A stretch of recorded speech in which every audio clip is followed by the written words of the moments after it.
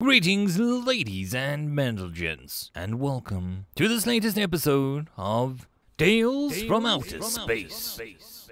Taken from the subreddit HFY. The links to all the stories will be down below, and as always, I hope that you enjoy. And if you do, please consider subscribing. Story number one Mea Culpa, written by Alt Cypher. First off, I would like to extend my sincere thanks and humble gratitude to the Chancellor, the Legislator, and the 10,000 worlds for allowing me this opportunity and for being such gracious hosts during these trying times. To the Delakia, let me apologize for the destruction of your sector. It honestly never occurred to us that a species would send out all of their breeding age males for battle. It seemed too fantastic to believe. We see now what we should have seen then. We did not mean to start a genocide, and for that, we apologize. The Bacalic, let me apologize for ravaging your two farm world colonies. We were looking for cloning information to help the Delekia, and putting a biological research outpost on your main source of all your staple crops was not a scenario we imagined. Nor did we imagine the lethal plagues you stored in there would be so easily transmitted across your world. We did not mean to create a famine that would wipe out two thirds of your population. For that, we apologize.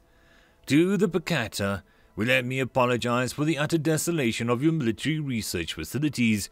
We had heard your expertise in field rations would help the famine of Balakaluk.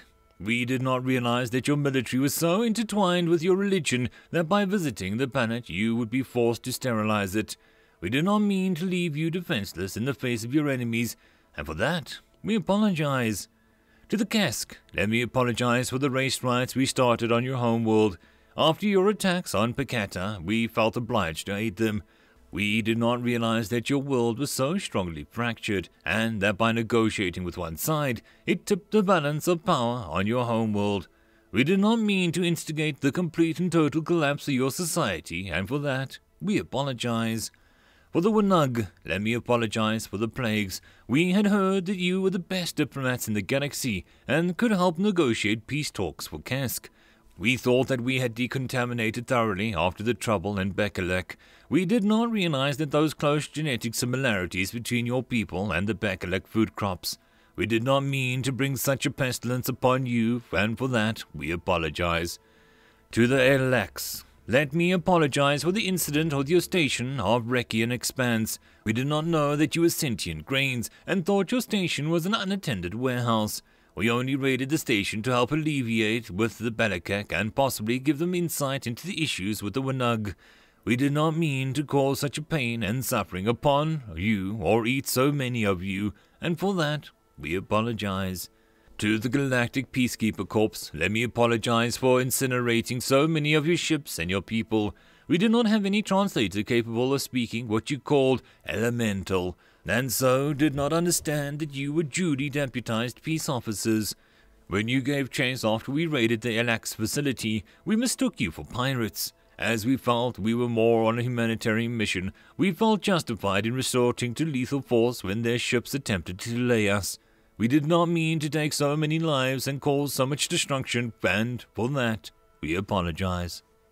To the Lekara, let me apologize for destroying your spawning grounds with your sacred Mektalka.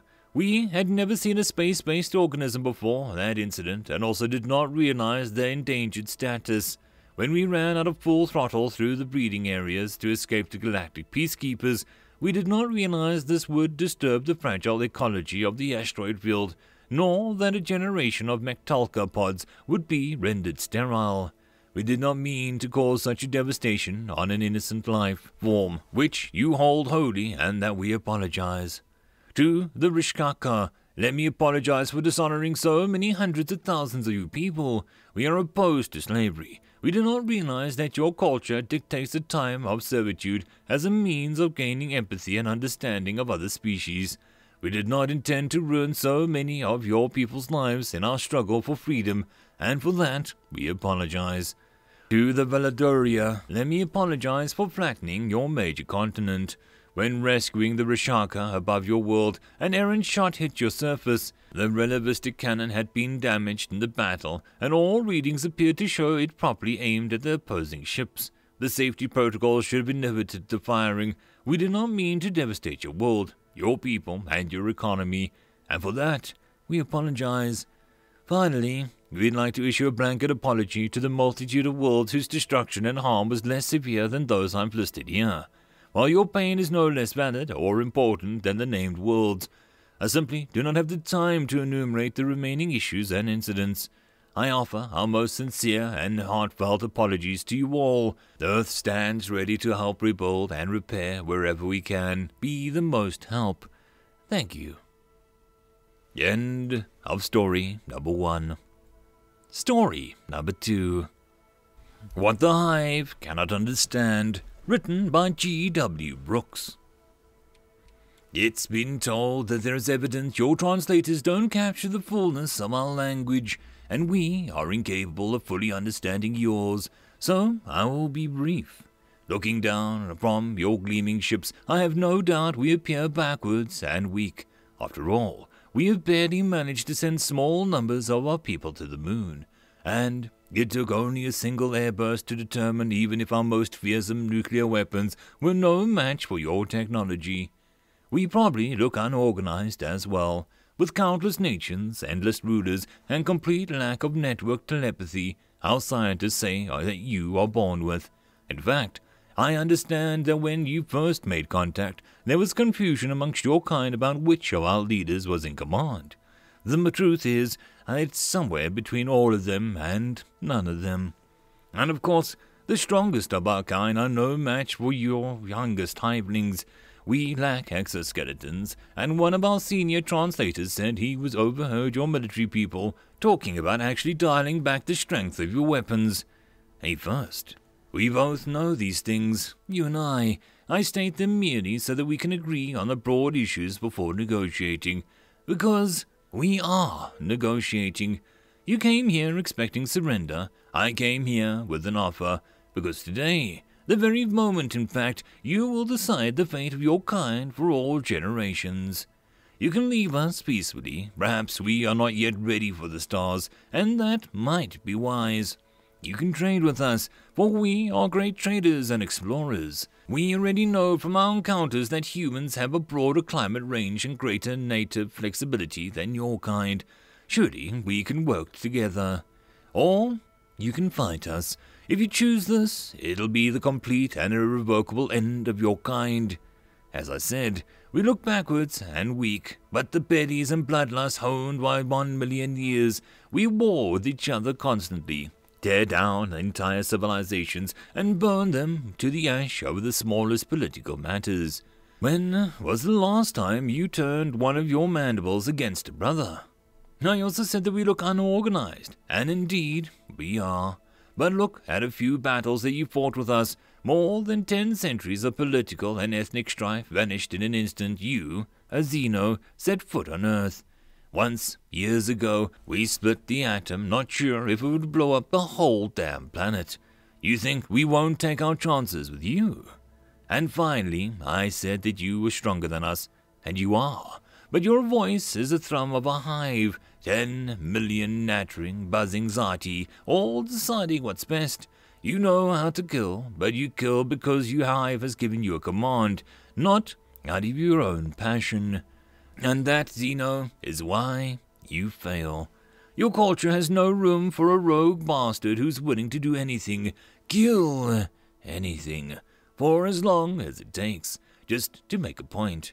We are weak, but we've got a million years of murderous, bloody, irrational point making running through our veins.